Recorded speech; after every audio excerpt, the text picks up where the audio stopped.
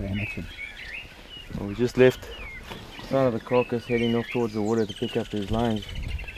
There's two options, either someone had chased them away or they'd gone for water and luckily we just picked them up on the way down to the dam. Looks like they're heading back towards the carcass now. There comes the third one at the back. See how full they are. How much they've eaten already.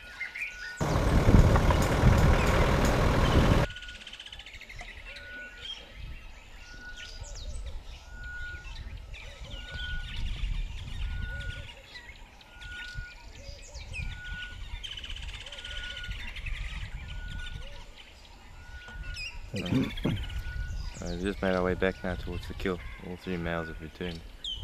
They're still heavily panting, all very, very well fed. Chased off the vultures with the left of the vultures.